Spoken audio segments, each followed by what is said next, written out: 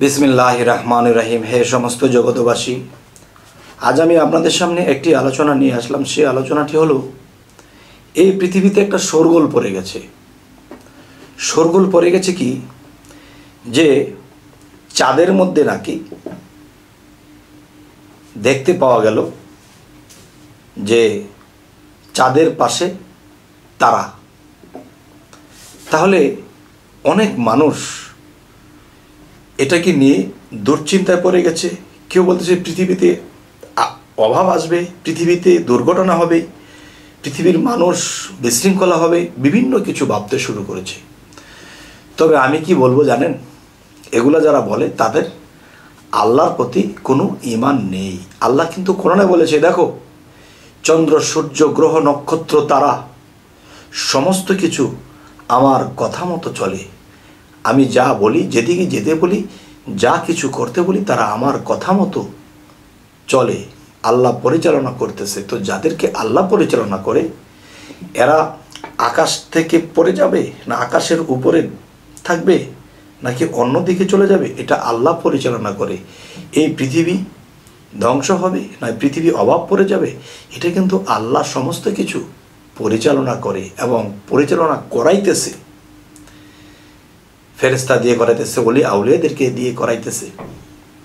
তো এরকম যারা ভাবে, এটা কিন্তু ঠিক নয়। তাহলে আল্লাহর কোরআনকে আমরা মানলাম না, আল্লাহকে মানলাম না। যেহেতু আল্লাহ নিজেই বলেছে যে, গ্রহ, তারা, আকাশমণ্ডলী, পাতাল, জমিন, সমস্ত কিছু আমি আল্লাহ, এদেরকে পরিচালনা করি। তাহলে কি আল্লাহর পরিচালনা করায় কোনো ভুল আছে? কেন এরকম আমরা বলব? যাই হোক, আজকের কথার মূল হলো কি? চাঁদের পাশে এরকম তারা তো কখনো দেখা যায়নি। চাঁদের সাথে, চাঁদের কাছাকাছি বা চাঁদের সাথে মিশে আছে, এরকম তো কখনো আমরা দেখিনি। তো এখন কেন দেখলাম? দেখুন, আমি একটা ছোটোখাটো একটা গোমর বাঁধতে চাই। এদেরকে আমরা কি? তারা বলি। আর ইংরেজিতে বলা হয় কি? স্টার। ইংরেজিতে স্টার বলা হয়। স্টার বলা হয় মানে যে এখানে পাঁচটা, তারার মধ্যে পাঁচটা কিন্তু কোনা থাকে। তাহলে ফাইভ স্টার আচ্ছা। তাহলে এই স্টারটা ফাইভ স্টার কি? পাক পাঞ্জাতন। আচ্ছা। পাক পাঞ্জাতন যদি হয় তাহলে আপনি ভালো করে আপনার মধ্যে হিসেব মিলান। আপনি কয়টা পদার্থের সৃষ্টি? আগুন, পানি, বাতাস, মাটি, আলো। এই পাঁচটা। আপনিও কিন্তু স্টার। আচ্ছা আমরা বলি তারা। আসলে আমরা যে বলি তারা, আসলে তারা কারা? আমরা বলতেছি তারা। ইংরেজিতে বলে স্টার। ওরে ভাই মিস্টার, এই যে ইস্টার, বাংলায় বলি তারা, আসলে এই তারা কারা? এই তারা হলো বিগত কোটি কোটি বৎসর থেকে এ পর্যন্ত এসেছে অলি, তারা আসলে তারা কারা? বিগত পিছনের জন্মে যদি আমরা যাই, তাহলে অনেক নবী, অনেক পয়গাম্বররা পথভ্রষ্ট হয়েছিল।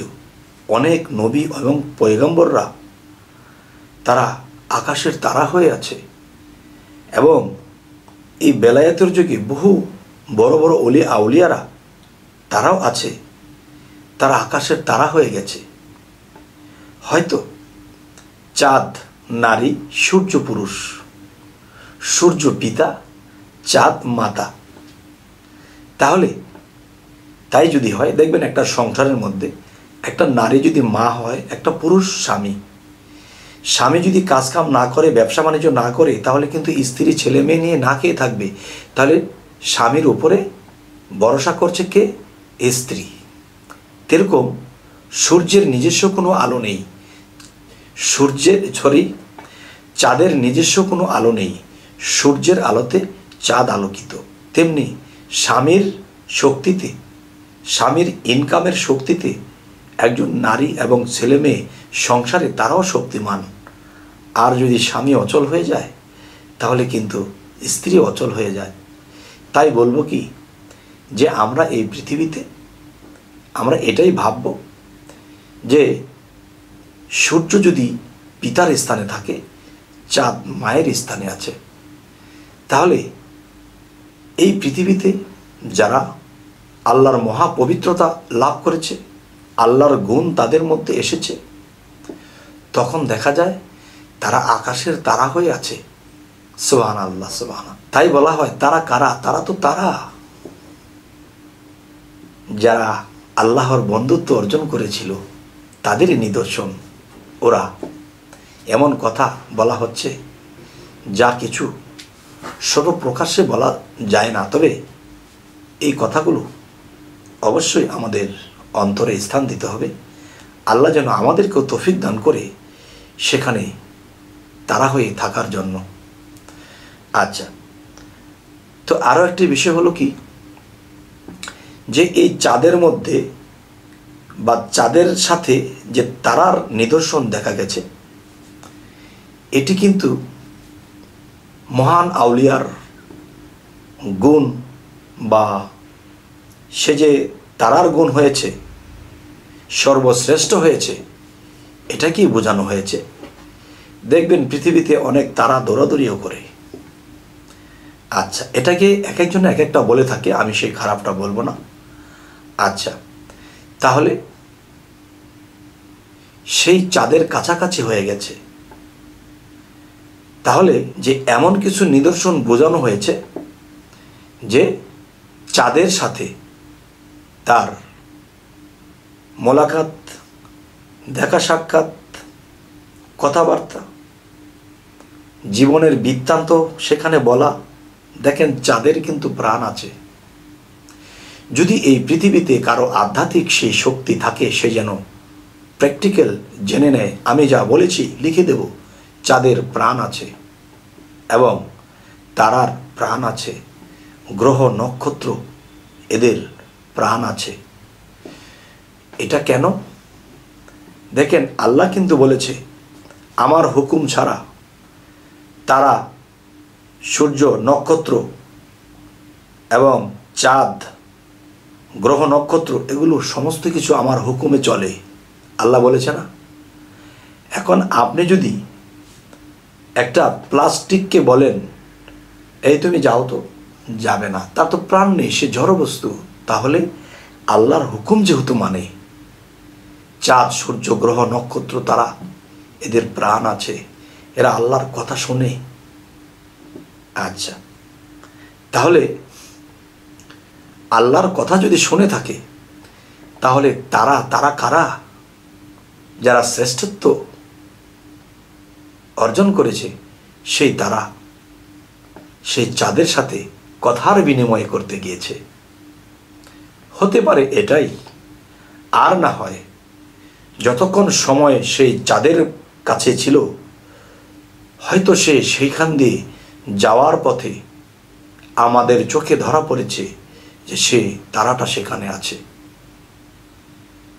তাহলে এই দুটোর একটি ধরে নিতে পারেন, এটা খারাপ কিছু নয়। যেমন অনেকে বলে যে, এই কথাগুলো ঠিক নয়। যে পৃথিবীতে অভাব আসবে এই চাঁদের এই অবস্থা হয়েছে এটা হচ্ছে কেন? রিজিকের মালিক তো আল্লাহ। আমরা আল্লাহর উপর ভরসা করি না। এখন চাঁদের সাথে আমরা তারাকে দেখেছি বলে এত কিছু আমাদের ভিতরে ওলট পালট হ্যাঁ, আসলে এটা ঠিক নয়। অবশ্যই আমরা তবা নাচেও পাঠ করব যে হ্যাঁ আল্লাহ মাফ করে দাও। সমস্ত কিছু পরিচালনা করো তুমি রিজিক সমস্ত কিছু তুমি বন্টন করে দিয়েছ তুমি। আমরা কেন এরকম কথা বলব? তবে হে সমস্ত জগতবাসী আজকে আমাদের এই আলোচনা যদি আপনাদের ভালো লাগে, তো অবশ্যই আমাদের চ্যানেলটিকে সাবস্ক্রাইব করে নেবেন এবং পরবর্তীতে যেন ভালো আলোচনা নিয়ে আসতে পারি। তো সকলেই ভালো থাকবেন। আল্লাহ হাফিজ।